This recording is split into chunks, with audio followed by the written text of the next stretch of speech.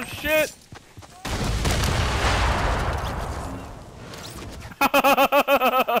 Did that kill them both?